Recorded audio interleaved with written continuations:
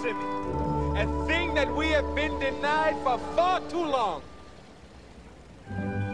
Good morning, my neighbors!